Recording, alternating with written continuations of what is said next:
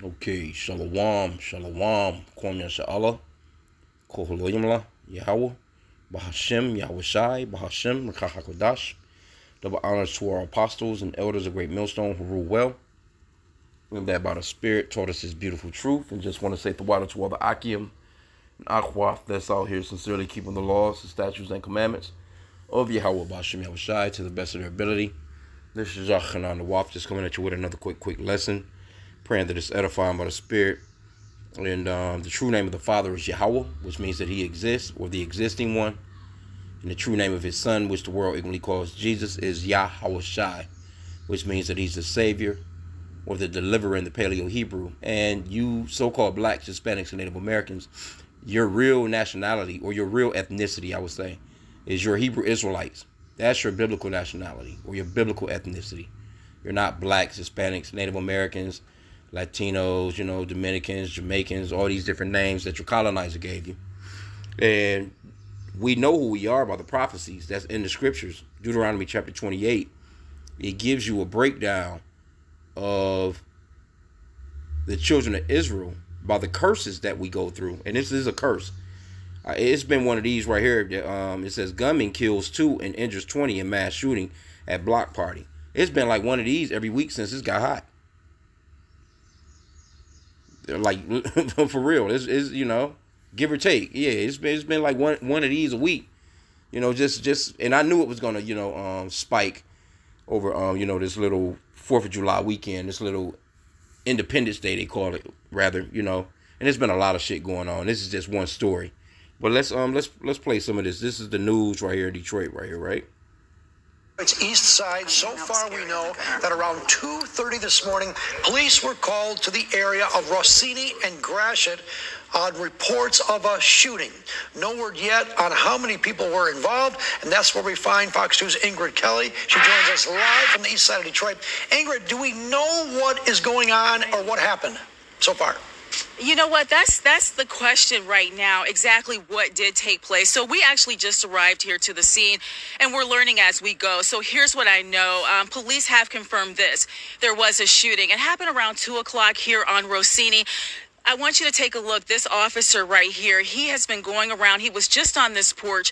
He was talking to one of the residents. So that makes me think that he is really trying to get some type of eyewitness account, talk to residents here. What did they see? What did they hear? What do they know? Also, want you to look to the uh, direction that he's walking down there. A lot of officers have been centered around this white vehicle on uh, the grass on this lawn over there. Um, they've been that's where the investigation seems to be the center of it right there. Not sure exactly what took place, but the other thing that I did when I arrived on scene, I was asking one of the uh, law enforcement agencies about exactly what took place. Again, he said a shooting. I was like, how many victims? He said he didn't know. I said, how many people are deceased? He said he didn't know. There are a number of people in surgery, which supports the phone call that the station actually received. We spoke to a woman who says that three of her nieces were actually here at a party and that they're in surgery right now. So we do know that a number of people were injured.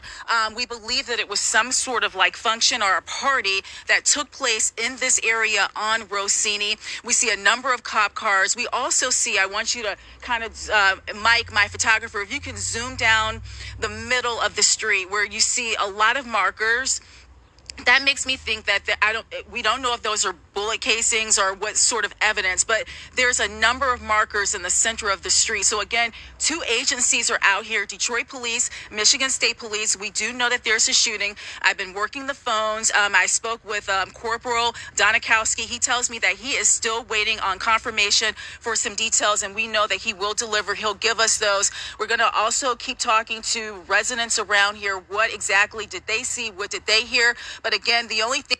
Okay, so I guess they must have wrote the story after they done that interview, but it says two people have been deleted and 18 others injured in a mass shooting at a block party on Detroit's east side. A gunman opened fire at the party around 2:25 a.m. So if you notice, you know, she said that it was three young ladies, you know what I'm saying, her, you know, that that was in critical, you know what I'm saying, right? So what are you doing out at that time of night? See, that's that's our women having that liberty to gad abroad. The scripture talks about that, man. You know, that being able to just be out any time that you want as a woman. In a place like America, man, at 2:30 in the morning, you out and about. You know. Anyway, it says um 2:25 a.m. local time while revelers were gathered in the area, according to the Detroit police. A 20-year-old woman was shot in the head. See that? And and and, and deceased on the scene. A 21-year-old man was shot in the back and died at the local hospital. The suspect, a 22-year-old man, was shot in the leg at some some point during the attack and was taken into custody. He is currently recovering in the hospital. It is not immediately clear whether it was law enforcement or another party goer who shot the suspect. The identities of the victims and the suspect have not been released in the public. Police told 7 News um, Detroit that they would enact new guidelines for for block parties in the wake of the shooting. They have been talking about that lately. You know, because you can live on a block and Jacob shut the damn block down and you won't be able to drive off your block. Jacob cut that shit off. I just seen one the other day right up the street from me. I'm like, well, damn, these motherfuckers just cut off the whole street. Knowing full well they ain't even got no permit. Ain't these motherfuckers ain't got no permit to cut the to, to shut down and they, they they was shutting down the street for for the Fourth of July bullshit. Right? But it says DPD will be implementing a compre- comprehensive new strategy regarding block parties and will provide full details tomorrow at a briefing with the chief. Cause see, they'll shut down on blocks, man. They be drifting and shit. Motherfuckers be uh, you know, they be in them Hellcats and Chargers and stuff like that, man. You know what I'm saying? Just acting a damn fool. It says um, Mary Sheffield, Detroit City Council president, issued a statement regarding the shooting. I was saddened and utterly disgusted to learn of today's early morning mass shooting on Detroit's east side, where 21 young people, average eight, age after 21 young people, average age of 19, see, was shot, with two of them succumbing to their injuries. So if you know, these these are basically you know young men and women. You know what I'm saying? You already know, hey, Jake be wilding so damn. Jake be going hard with the wilding these days, man. I wouldn't be around none of this. It says this unspeakable tragedy is yet another reminder that gun violence is an epidemic in Detroit and across the nation. We must chart a new new course of action, and I'm calling for an all hands on deck approach to ending the senseless killings and destructions of families in our communities. My heart and prayers goes out to the victims and their loved ones. Well, you can forget about it because the reason why this is going on is because we're under these curses of Deuteronomy chapter 28, and that's not going to stop. And then America is just a violent country, man. I mean, America was was built on violence, and it's been violent since it started. They came here, they stole the country with violence. You know, they the West was won with violence. you know, so it's a lot. You know, it's not going to stop until Yahweh Bashem Yahweh stop it.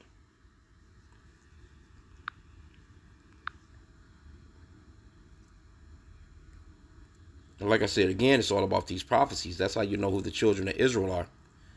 Deuteronomy 28 and 46. Let me get that one first, and then I'll jump straight to the curse. It says, And they shall be upon thee for a sign and for wonder, and upon thy seed forever. So these curses, they're upon us for a sign. So you can tell who we are through these curses. Because no other race of people, man, go through nothing like this. You ain't about to hear no um uh, uh, you know, no, no, no, no damn uh, Chinese people having a block party and, and, and motherfuckers whipping out pistols every weekend.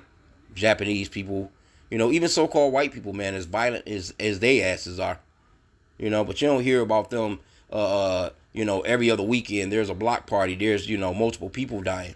You know, you don't hear about stuff like that from them. These other nations, man. This is strictly on us. Deuteronomy 28 and 54, this is one of the curses. So that a man that is tender among you and very delicate, his eye shall be evil towards his brother, and towards the wife of his bosom, and towards the, the remnant of his children, which he shall lead. So that's one of the curses right there. You know, his eye shall be evil towards his brethren. And Jake not thinking, you know what I'm saying? Jake just whipping out the, you know, whatever he's shooting with, you know what I'm saying, and just spraying up every damn body. But we know that man's goings of the Lord as well. You know what I'm saying? That's that Proverbs 20 and 24. So those those people that caught the business, the Lord wanted them to get the business. Proverbs 20 and 24. Man's goings of the Lord. How can a man then understand his own way? So the Lord had everybody set up to go exactly at the time that they went. They got dressed. They brushed their damn teeth. You know, they done everything that they needed to do. They picked out an outfit, and they showed up right on time for that mass destruction that happened to them, man. Now let's get Deuteronomy 32 and 39. Yeah, scripture says that it's a fearful thing to fall into the hands of the living God. And I had already been saying that the other day. I was saying like, yep, just give it, just give the weekend a, a chance to blow by, and you're gonna see all that Jake has done on Independence Day. Deuteronomy 32 and 39. See now that I, even I, am He, and there is no God with me. I kill and I make alive. I wound and I heal. Neither is there any that can deliver out of my hand. See that? So the Lord is the one that um, set all that up, man. The Lord is the one that kills and makes alive. Matter of fact, let's get one more precept on that. First Samuel chapter 2, verse 6. The Lord killeth and maketh alive. He bringeth down to the grave and bringeth up. See? Can't get around that, man. Another, um, you know, um, precept is uh, Isaiah 45 and 7. I form the light and create darkness. I make peace and create evil. I, the Lord, do all these things. See? So it's the Lord. He he created peace and he created evil, man. But you'll have these Christians talking about how he loves everything. I had a Christian the other day on the comment board talking about how the Lord he loves um um you know the act of of the the the, the alphabet people. Like man, get the hell out of here with that, man. I gave him an Old Testament scripture and a New Testament scripture because he was like, "Oh, that's from the Old Testament." But you know, these people don't they don't really read the Bible, so I hit him with you know um the one in Romans, you know, chapter one. It's it's, it's scriptures in the New Testament as well that speaks on their lifestyle, but they believe in white Jesus and that he loves everything because that's what's been taught to them, and, and they really believe that the Lord loves them no matter what they do. They're really out here living like you know what I'm saying, like you don't have to keep no laws. That's that's what um a lot of these these Christians do, man. Now, are you to be perfect in the law? No, you're not to be perfect in the law, man. But it's it's certain things that I mean, you still got to be trying. You know, you you have to be really trying. I mean, damn, them Christians, man, they like, uh, uh-uh, uh we don't have to try no more. We can do whatever we want. We're saved by grace, right? Amos three and six. It says, Shall a trumpet be blown in the city, and the people not be afraid? Shall there be evil in the city, and the Lord have not done it? See that? So the Lord um set all that up, man. And that Hebrews 10 and 31, it goes off into um it's a fearful thing to fall into the hands of the living God. Yep, Hebrews 10 and 31. It is a fearful thing to fall into the hands of the living God. See? And the Lord is incredible, man. I mean, it's it, you know what type of choreographing that you had to do to put together all those people being there at the exact time that they needed to be there to get, for what to happen to happen to them. Because they were saying a few people was in critical, so some of them may not make it. So so so the little you know the Lord might might pull the plug on some of them while they're in the hospital, man. Let's get that. Uh, let's go into the apocrypha real quick. Spirits of vengeance. No, but the only thing that's gonna change up what's really going on is the Lord coming. That's it, man. Other than that, it's just gonna get worse. Ecclesiasticus 39 and 28, it says, There be spirits that are created for vengeance, which in their fury lay on sore strokes. In the time of destruction, they pour out their force and appease the wrath of him that made them. Fire and hail and famine and death, all these were created for vengeance. Teeth of wild beasts and scorpions, serpents and the sword punishing the wicked to destruction. They shall rejoice in his commandment, and they shall be ready upon earth when need is. And when their time is come, they shall not transgress his word. So the Lord created spirits to appease his wrath. You know? Because Jake be out here wilding, man, on a day-to-day basis, man. I mean, we all need mercy. You know, um, I, you know, I pray for it on a day-to-day basis, man, uh, for mercy. Because, hey, the Lord he can he can get down on you, man, real cold, you know. really cause some damage to you, boy. Matter of fact, you know, he can he can actually, you know, have you survive something and, and be in complete turmoil all the rest of your life. You know, what what they would call real hell. See, there's no burning spot on the ground called hell, you know what I'm saying? Hell is a condition. There's plenty of people, man, they sitting in wheelchairs, you know. They done had arms, legs amputated, things of that nature, you know what I'm saying? You know, um, just out here, just messed all up, man. You know what I'm saying? And that's all from Yahweh Bashem Yahushai. And so it's a fearful thing to fall into the hands of the living God, man. You know, so hey. Ooh, I kind of knew it though. I mean, I you know I was expecting, but like I said, it's been like one of these every weekend. It's been like a um, a block party, uh, uh, uh, gathering where people have just been getting knocked off, man. And I don't know why people go to them. You see what's going on. You know what I'm saying? Jake could still go go to these things, man. People out here off the drugs, drinks, whatever the case may be. You know what I'm saying? A little argument go down, and Jake, you know, real effeminate these days. You know what I'm saying? They'll they'll just, you know, they they, they can't agree to disagree without um something physical happening. Well, let's get. Uh,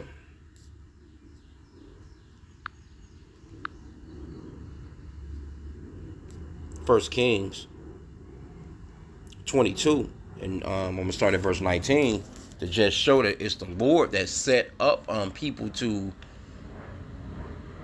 to get that business, man. First Kings 22, verse 19. And he said, Hear thou therefore the word of Yahweh. I saw the Lord sitting on his throne, and all the hosts of heaven standing by him on his right hand and on his left. And Yahweh said, Who shall persuade Ahab that he may go up and fall at Ramoth Gilead. So that word fall means to pretty much be put to death, right? And one said on this manner, and another said on that manner. So you have these spirits of vengeance, you know, that's giving suggestions. And there came forth a spirit and stood before the Lord and said, I will persuade him. And the Lord said, Wherewith? And the Lord said unto him, Wherewith? So the Lord is like, How you gonna do it? And he said, I will go forth Salakia. And he said, I will go forth and I will be a lion spirit in his in the mouth of all his prophets. And he said, Thou shalt persuade him and prevail also. Go forth and do so. So the Lord, you don't hear about scriptures like this in the, in the Christian church, man. Christian church is not going to bring no scripture out like this, huh? The Lord sent a lion spirit. Yeah, the Lord is in control of all spirits.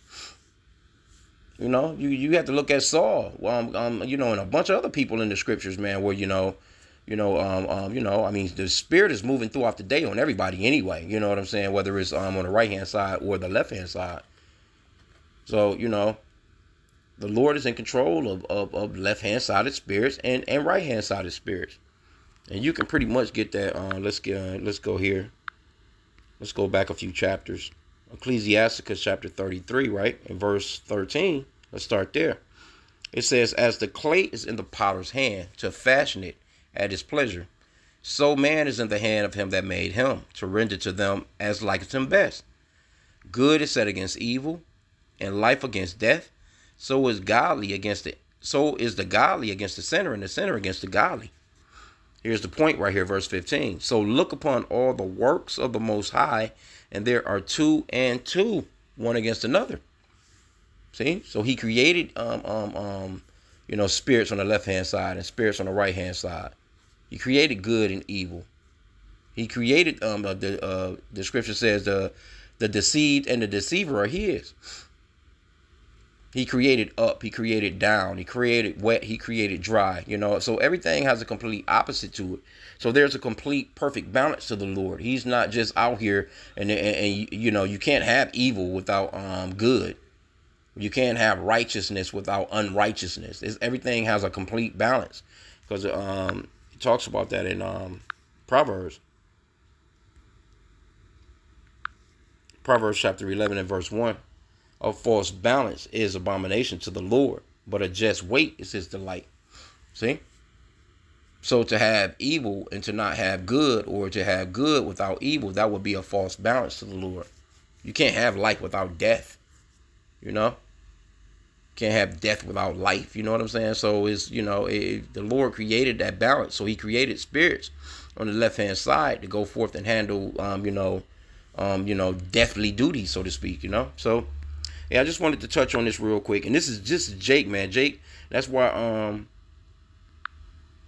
and, and I, I kind of just figured it, you know, because um that, that you know that Fourth of July was on Thursday, so Jake had Friday, Saturday, and Sunday to act a complete goddamn fool while celebrating this man's wicked ass holiday. Right? So I already knew. I, you know, uh, yep, some things is gonna happen, and there was a bunch of other shit that happened too. A bunch of people got deleted, man. And they said it sounded like a war zone. Damn.